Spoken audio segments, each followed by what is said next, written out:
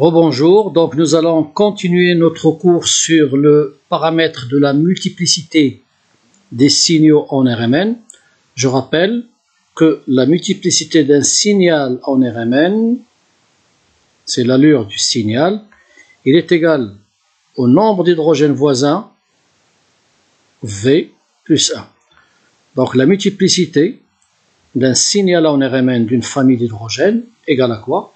Égale aux hydrogènes voisins à cette famille plus 1. Prenons des exemples. Quand il y a un signal sous forme d'un singulier, un singulier, non pas un singulier, un singulier, ça veut dire un seul pic. Je déduis automatiquement que la famille d'hydrogène de ce singulier n'a pas d'hydrogène voisin, zéro voisin.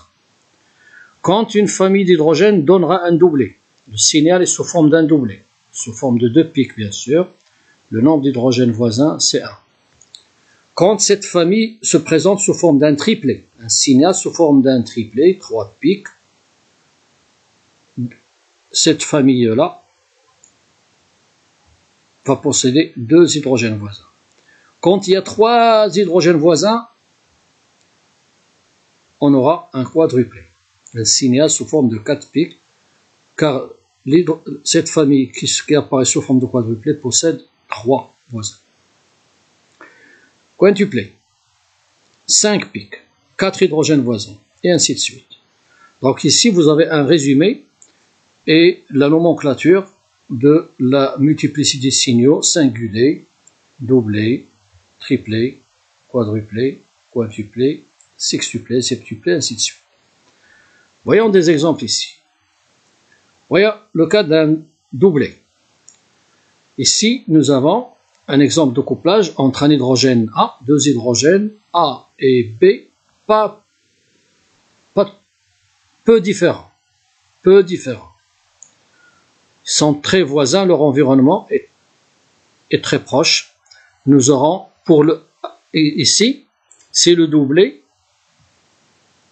de l'hydrogène A ayant un hydrogène voisin. C'est ce qu'on a vu auparavant comme exemple.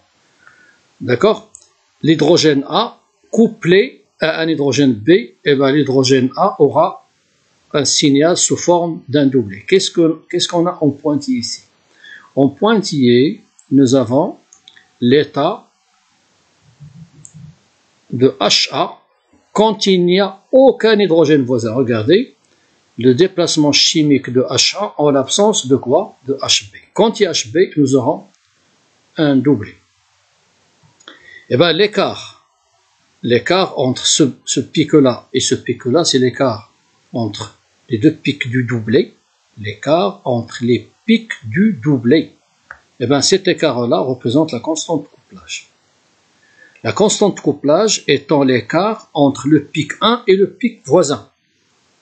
Mais si nous avons que deux pics, c'est un doublé, donc il n'y a pas de, problème. C'est l'écart entre celui-là et celui-là. Cette constante couplage, il est exprimé en R. Tout ça, on l'a vu auparavant dans la vidéo précédente. Alors, on va voir un, un exemple. Le même. Donc, tout à l'heure, c'était un exemple AB. Ici, nous avons un système AX. Pourquoi nous l'avons appelé AX Donc, parce qu'il s'agit d'un hydrogène A avec un hydrogène X. Pourquoi A et X? Parce que les deux hydrogènes ont des environnements trop différents. Trop différents. L'environnement de HA est trop différent de l'environnement de HX. Mais le couplage, il est mutuel. Ça veut dire quoi? Ça veut dire HA est couplé avec X et X est couplé avec HA. Et nous aurons combien? Nous aurons un doublé pour A et nous aurons un doublé pour X. Pourquoi? Tout simplement parce que l'hydrogène A possède un seul hydrogène voisin qui est X. D'où le doublé. Et l'hydrogène X possède un hydrogène voisin qui est A, d'où un doublé pour X. Donc nous aurons deux doublés les composantes d'égale intensité. Ça veut dire quoi? Ça veut dire que la, hauteur de ce, de ce pic et la hauteur de ce pic sont égales. Et pareil, ici, les deux intensités sont égales. Il y a une symétrie par rapport au déplacement chimique de delta A et delta X. Quel est le déplacement chimique de ce doublé? C'est-à-dire de HA, c'est le milieu du doublé. Ça, c'est le déplacement chimique de HA. Et le milieu de ce doublé-là va nous donner le déplacement chimique de HX, avec la même constante couplage. C'est un couplage mutuel. Regardez le système AX2. Un hydrogène A, regardez-le, c'est le cas d'un aldehyde, d'un hydrogène de la fonction aldehyde, lié proche de combien d'hydrogène X. Pourquoi ça s'appelle X? Parce que l'hydrogène A est lié à un carbonyle, le voilà. C'est un environnement trop différent de celui-là, de ce carbone lié au chlore. Donc X, car l'environnement des deux hydrogènes X, l'environnement, je dis bien l'environnement. C'est quoi l'environnement? C'est le carbone sp3 chlore. Quel est l'environnement de HA C'est le carbone oxygène, sp2 bien sûr. Donc les deux environnements sont trop différents, d'où la lettre A et la lettre X. Trop loin, c'est carrément un ordre alphabétique A et je regardais jusqu'à X. Bien. Maintenant la question. Combien d'hydrogènes sont voisins à HA Combien d'hydrogènes sont voisins à HA Deux. Les voilà. Deux hydrogènes voisins à HA. Alors qu'est-ce qui va se passer? Regardez ce qui va se passer pour les hydrogènes de, H, de X, HX. Donc nous avons deux hydrogènes X, soit tous les deux parallèles, à, qui? Au spin de HA. Soit tous les deux antiparallèles, c'est les, les, deux hydrogènes X. L'hydrogène X, le deuxième hydrogène X, est antiparallèle au spin de HA. Ou bien, un est parallèle, l'autre est antiparallèle. C'est comme s'il n'y a pas de voisins. La résultante, c'est 0. Parallèle, antiparallèle. Qu'est-ce qu'on aura? On aura un triplé. Un signal de A sous forme de triplé avec un rapport. Regardez combien. Quelle est la possibilité d'avoir deux hydrogènes parallèles? Une seule fois. Quelle est la possibilité, la probabilité d'avoir deux hydrogènes antiparallèles? Une seule fois. Donc intensité 1 et 1. Quelle est la probabilité d'avoir un parallèle et l'autre anti? Ben, Il y a ce cas-ci. Donc voilà, celui-là antiparallèle, ça parallèle. On inverse celui-là, il devient anti, et celui-là devient, euh, celui-là devient parallèle, pardon, et celui-là devient antiparallèle. Donc il y a deux combinaisons possibles ici. Deux combinaisons, d'où l'intensité 1, 2, 1. C'est ce qu'on va voir dans le, Alors, pardon, avant de voir ça sur euh, un spectre, regardez ce qui va se passer maintenant pour les hydrogènes X, les deux hydrogènes X pour les deux protons de X, combien ils ont d'hydrogène voisin Un seul. Un seul hydrogène, d'où nous aurons combien? Un doublé. Un doublé. C'est ce qu'on va voir sur le spectre directement de cette molécule-là. Regardez, l'état de spin A, ça c'est le déplacement chimique de X. Pourquoi d'abord le déplacement chimique de A est plus grand que le déplacement chimique des hydrogènes X? Parce que l'hydrogène A, il possède, s'il vous plaît, il possède un, environnement trop électronégatif, c'est le carbone sp de oxygène. Donc celui-là est trop acide, son déplacement chimique est trop grand que celui des hydrogènes X. Alors, l'hydrogène X, les deux hydrogènes X, ils ont combien d'hydrogènes voisins? Les deux hydrogènes X, ils ont un seul. Donc il va apparaître sous forme d'un doublé et l'hydrogène A sous forme d'un triplet. Pourquoi le triplet Parce qu'il a l'hydrogène A, il possède deux hydrogènes voisins. Donc A est sous forme d'un triplet parce qu'il a deux voisins. Les X sous forme d'un doublet parce qu'ils ont un seul voisin. Avec des intensités, regardez pour le doublet, c'est 1, A, même hauteur. Et pour le triplet, intensité 1, 2, 1. Bien. Un système AX3 trois hydrogènes voisins à A. Regardez-les, c'est l'acétaldehyde par exemple. L'hydrogène A, cette fois-ci, regardez, s'il vous plaît. L'hydrogène A possède combien d'hydrogènes voisins? 3. Il va apparaître sous forme de quoi? D'un quadruplé. Voilà les combinaisons. 1, 2, 3 et 4. Voilà les 4 pics. Voilà les 4 pics de A. Tous les trois parallèles, c'est-à-dire les 3, les 3 X, les trois X parallèles, les trois X antiparallèles. Et là, le reste. Dans cette, dans cette colonne-là, il y a toujours deux parallèles. Un parallèle, le deuxième parallèle, celui-là anti. Celui-là parallèle, celui-là parallèle et le milieu anti. Donc il y a toujours deux parallèles ici. Là, il y a toujours deux antiparallèles. Deux antiparallèles et un. Deux antiparallèles et un parallèle. Donc nous aurons un quadruplé.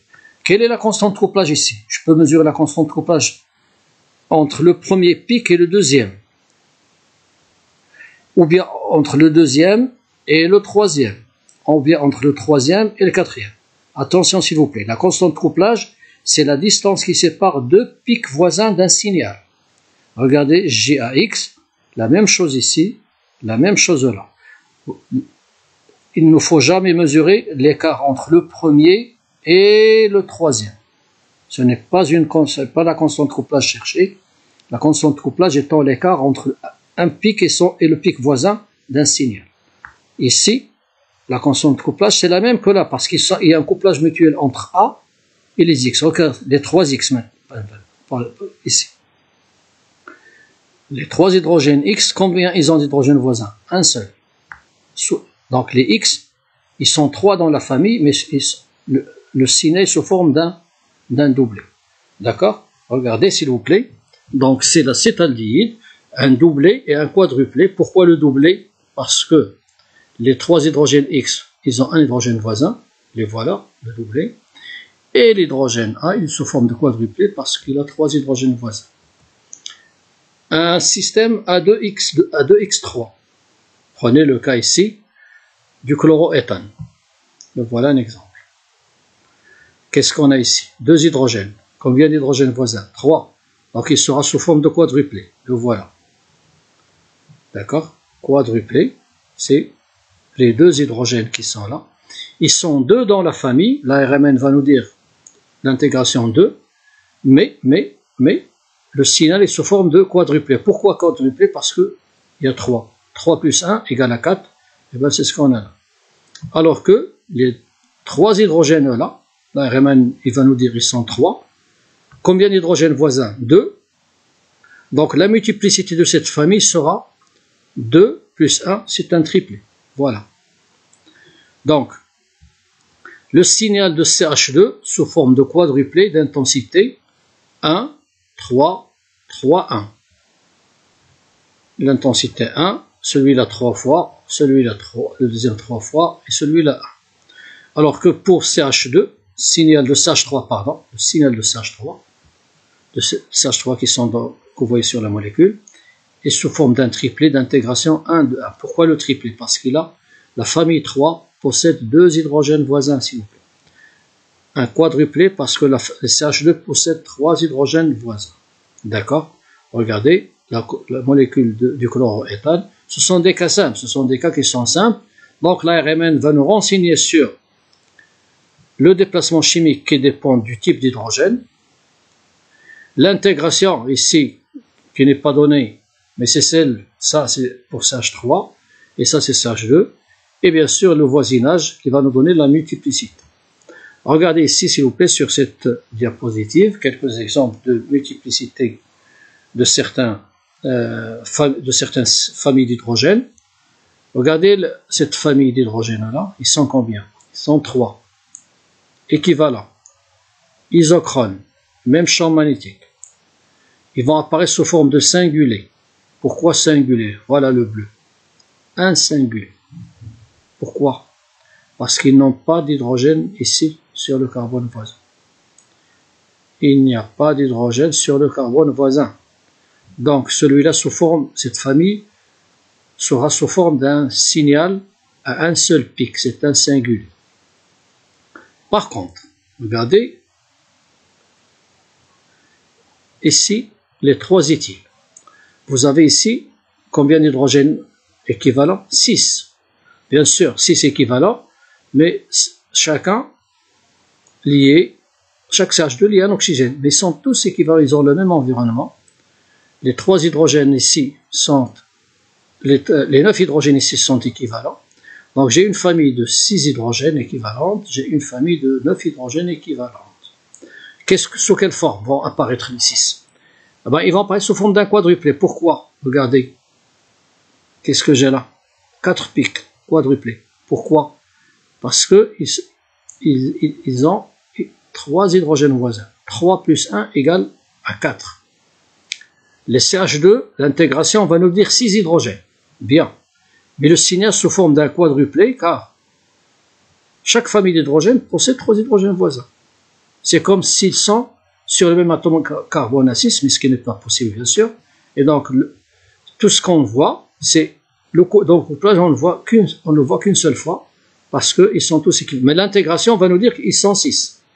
6 hydrogènes équivalents sous forme d'un quadruplé, parce qu'il a, il y a 3 hydrogènes verts voisins. Regardez maintenant les hydrogènes verts. Combien d'hydrogènes équivalents? 9. L'intégration sera 9. La RMN nous dira, j'ai une famille d'hydrogènes composée qui apparaîtra vers pratiquement 1,1 ppm. Combien d'hydrogènes équivalents 9. Quelle est la multiplicité? Triplée. Pourquoi? Parce qu'il y a deux hydrogènes voisins. Regardez, 2 plus 1. Donc ce cette famille-là va apparaître sous forme d'un triplé. Ici, cette molécule-là, une molécule symétrique. Regardez s'il vous plaît. Combien de familles d'hydrogène? Nous avons 14 hydrogènes au total, mais nous n'avons que deux familles. Regardez, cet hydrogène et celui-là sont identiques. Donc la RMN va nous dire, vous avez une famille d'hydrogène d'intégration 2, sous forme de quoi Celui-là? Sous forme de 7 pics, septuplés. Les voilà. Regardez l'intégration des violets, deux hydrogènes dans l'intégration, mais le ciné sous forme de 7 pics. Vous les comptez 1, 2, 1, et 2, et 3, et 4, et 5, et 6, et 7. 7 pics, car vous avez 6 hydrogènes voisins à cet hydrogène-là, bien sûr, et pareil pour l'autre. Qu'est-ce qui se passe pour les bleus? Quelle est l'intégration? L'intégration ici, c'est pas 24 s'il vous plaît, c'est 12. C'est 12, regardez, 3, et 3, et 3, et 3, ça fait 12 hydrogènes équivalents, et non pas 24 s'il vous plaît. C'est 12 hydrogènes sous forme de quoi? D'un doublé. Pourquoi le doublé? Parce que les, les 6 hydrogènes qui sont là, ils ont un hydrogène voisin. Donc c'est 1 plus 1 égale à 2. D'accord, je vous laisse voir. Donc regardez ici, un doublé parce qu'il y a deux hydrogènes voisins. La famille, c'est 12. Septuplé, l'intégration, c'est deux hydrogènes, mais septuplé parce qu'ils ont six hydrogènes voisins. Alors ici, c'est un cas beaucoup plus complexe. Quand le cas, c'est ce qu'on appelle le couplage mixte, si un, proton, si pour un proton, il y a un couplage avec deux groupes voisins de N à N de protons, regardez ici, c'est le cas ici, regardez s'il vous plaît. Ce bleu qui est là possède combien d'hydrogènes voisins? 4. Non, c'est pas, c'est pas 4. Il possède 4, oui c'est vrai, mais répartis en deux familles. Les deux CH2 qui sont là, CH2 qui sont là, les deux hydrogènes, pardon, qui sont là, sont proches d'un chlore. Les deux hydrogènes qui sont là sont proches de l'iode. Donc cette famille-là est différente de celle-là. Quel est le signal de celui-là? Eh bien, le signal, on va commencer d'abord par ça, celui-là, cette famille. Le signal cette famille-là, il y a combien d'hydrogènes 2 Ils ont combien d'hydrogènes voisins sur le carbone voisin? 2. Donc ça fait 2 plus 1 triplé. Pour le rouge, le voilà. Pour ce CH2, il sera sous forme lui aussi d'un triplé. Pourquoi triplé? Parce qu'il a deux hydrogènes bleus voisins. Donc, ces, deux, hydrogènes bleus vont donner un triplet pour les rouges, ils vont donner un triplet pour les, les bleus qui sont là. Donc nous aurons deux triplets. Les voilà.